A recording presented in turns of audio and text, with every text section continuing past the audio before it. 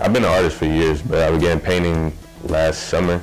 It was actually a complete random. The teacher had us do a class project, and I chose painting as my option, and actually sold the first two paintings I did to my teacher and I haven't put down the brushes since. Favorite part of being a painter, I guess, is the manipulation of making something so simple turn into something that can leave a lasting impression on someone. Mainly for my personal goals, I say just to bring people who aren't used to art into the art world and just kind of show them what we see. Uh, this is actually going to be my first show and I actually thank Raw for the opportunity to kind of get me into this kind of art movement and actually get established.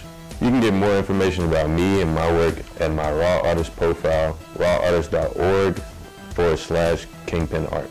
My name is John Owens and I'm a Artist.